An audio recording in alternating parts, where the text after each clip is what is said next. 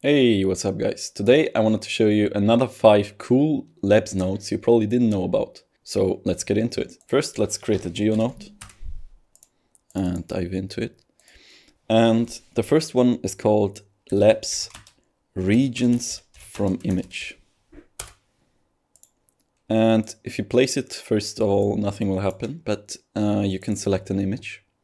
I uh, already prepared an image here. It is this one but I already uh, posterized it in Photoshop, so it looks a bit more simplified. So it's already broken down into a few colors only, so it's simpler for the node to recognize the colors. And I'll show you what it does. So we're gonna select the photo. We're gonna press accept, and it will take a second. Then what you'll get is this plane broken down into the regions of the color. You can change the amount of colors you want to uh, break it down to. So if we go lower than that, let's say we got to 5, you'll see, give it a second, it will break down the whole image into 5 colors. Here this is a bit problematic because it already loses a lot of detail, but you can go higher than that. You can also go like, what is this, like 20? You'll see we keep a lot of detail. Uh, the colors that are smaller come back. And yeah, so you can use that for a bunch of things, to be honest. I used it in this example to make this logo. And what I did then was blast away this outer part. And I'm going to show you that as well. So let's delete that. I already prepared that from another scene. So we go in here and let's just take a look at this. I blasted the black part uh, outside because that was from a PNG and I only wanted the circle.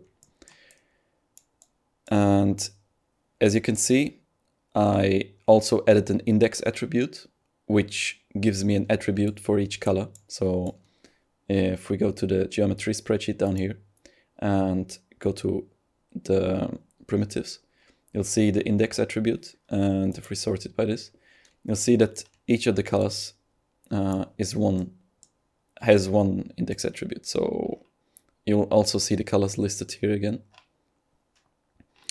Um, and yeah, the note is pretty simple to understand, to be honest. Uh, you can change the smoothing for everything. So if we select this one, we can play with the smoothing a bit. And you'll see it get it will get more rough. And if we higher it, the edges will get a lot smoother. So after we did that, and I blasted the outer part, I cached it so we don't have to load it all the time or calculate it. And what I did then was um, I used the for each loop with the index as piece attribute. Yeah, so I remeshed that so we get a better result. After that, I used the next node we're going to talk about today, which is the polyslice node. And before I show you this, let me show you what it does. So just type labs polyslice and you'll find it here. Looks like with this bread sliced in pieces. And to show you what it does, we need to place a geometry. Let's say um, we want to use the test geometry. Uh, let's use the rubber toy here and put a view flag on there. And you'll see this box will be created. And if we click set to bounding box, it will create the bounding box around the whole geometry. And from there, it's actually pretty simple. You can already partially see it. So if we uncheck the guide, uh, you'll see these lines. So if we disable the UV and the material, you'll see the colors. So let's uncheck the points as well. And these will be the slices. So let's use an explode node. And you'll see the geometry will be sliced uh, at these lines from the box we saw earlier. So if we tick the show guides, you'll see the slices. And if we go up with the slices like this, you'll also see the number of slices of the geometry goes up according to the slices of the bounding box. And if we visualize that, you'll see you get a lot more slices. And by this point already, you probably can tell that this is this enables you to do so much cool stuff. Like your the limits are your imagination basically. But what we can also do is we can change the mode from poly to polyline and you'll get these lines from the geometry that outline the geometry where the slice of the bounding box is. And if you think back to the thing we did a second ago with the labs regions from image, you might already know where we're going from this. So if we can do this, then if we go back here and visualize a logo again from the regions and we separate it by the index attribute and we remesh it and then we slice it. So we'll get these lines here. As you can see I, uh, I turned it to 10,000 but if you turn it lower so if we go like 100 you'll better see what it does. Uh, it will cut all the little pieces into lines and the cool thing is they'll still have the uh, attributes from the beginning so they all have the index attribute and if we continue with that, so if we visualize that, you'll see they have a bunch of points where the slice cuts through lines. But if we turn that to curves and we resample that, we can set all the lines to have a start point and the end point. These are pretty uh, dark, so you can't tell. But they'll all have a start point and the end point. and then I'm going to continue doing that for all of them. So if we disable the points again, you'll see it creates this whole image. Right now it's hard to see because it's just 100, 100 stitches. But if we do that with the 10,000 we did before, you'll see it will create the image basically uh, as lines. And if we zoom all the way in, you can see them. If we jitter that, it will break the uniformity a bit. And by that, we can also resample it. And what you'll have is this beautiful um, stitched or kind of stitched image.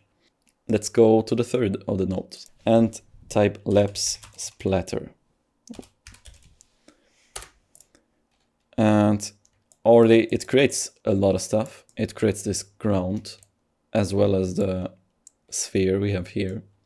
And if we hit play, you'll see it splatters some points at the ground plane. Let's disable the ground here for a second and take a closer look at this. So it will create this sphere where the points are scattered and you have this visualizer here where you can um, set a force where the fluid will be splattered. So if we go to forces, you can change the direction. So if we make the whole force stronger by using the magnitude, you'll see they will be splattered a lot faster, uh, a lot further into this direction. You can also change the direction. So we, if we add zero here and one here, you'll see that it will, will be splattered into the Z direction.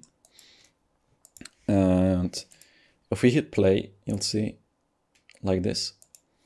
And what we'll also get is geometry. So if we place a null and wire it in here, you'll see it will create this fluid surface for us already.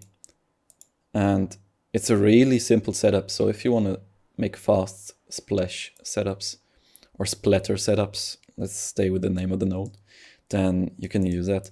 And it's also really easy to wire in collision geometry. So if we use a grid and use an extrude volume, place that here and wire that in here, you'll see that if we move this one a bit, so you'll see that if we visualize the whole thing again, it splatters against the wall. And again, we can visualize that. It's extremely simple to set up. Just one this one node and you get all these parameters to change the dynamic properties, the force and uh, birth rate of the particle. So you can change the particle separation to get a higher resolution, change the start frame and yeah, it's really simple to set up. It's really easy to use and it's just a quick way to make splatters for your scene if you don't want to set up a whole simulation. All right, let's go to the next one. The next one is the Labs Edge Smooth node. And you might already guess what it does from the name, but it's really cool to see it in action again. So let's create a curve and, oh, and visualize that and just draw a line. So we go like this somewhat. And there we go, we have a curve. And we wire that into the edge smooth node. We click on it, and as you can see, first off, nothing happens. But if we check include unshared edges, you'll see it smoothed the whole line or the, the whole curve. So if you have a curve that is a little bit jagged and you want to smooth it out, this node is perfect. And finally, the last one is called resample by density. So labs resample by density. And the cool thing about this node is, again, you can do so much cool stuff with it uh, if your imagination has basically no limits. So let's create a line, just a simple line, and visualize it, set it from, set it towards the x direction, and show the points on it. So we have a start point and an end point. And let's copy spheres to that. So copy two points like this. And now imagine you have a phone pole with wires between the two phone poles. By the way, if you want to see how to create wires, check out the last Cool Labs Node tutorial. Yeah, but if you have a two phone poles with a wire in between and you want to place birds on them, you don't want to have a line that is equally spaced because the birds will not sit on it like perfectly symmetric. So we want to wire in the curve resample by density node like this. And if we click on maximum segments, you'll see that we create the amount of segments that we set here. And let's say we want to create like 10. Uh, let's check if that's correct. Yes, 10 points. And maybe I want to turn this to something brighter again so we can see what we're doing. You'll have these 10 points. And as you can see, we have these spheres. Imagine these were birds. So we have 10 birds sitting exactly the same, um, uh, the same distance apart from each other. And now if we want to use the, this ramp, you can set a point here and you can change the density of the curve with this ramp and it's really, really handy to control. So if we change the sphere size a bit again, like two, and maybe put a 15 here. And you'll see how much control you have with this density slider. So we've put a high density here, low density here. You'll see that the line changes depending on the density. When we put a high density here, a low density here and the higher here. You'll see you'll have some birds here, no birds here, a lot of birds here and no birds here again. And this can be really handy depending on what thing you want to set up. It's also useful for other setups. So if you have, for example, the stitch one from the start, which I didn't use in this case, but um, if you have a curve and for the only part of the curve that is roughly curved is the start and the end, then you want to resample the curve that it's lower at the beginning, at the uh, midpoint and higher at the end. So like this. And you'll see you'll only get a few points in the middle of the curve. And towards the end, they'll taper to be more points. So the ends will be smoother than the midpoint. And that's it for today. So these are the five labs nodes I wanted to show you and I'll see you in the next one.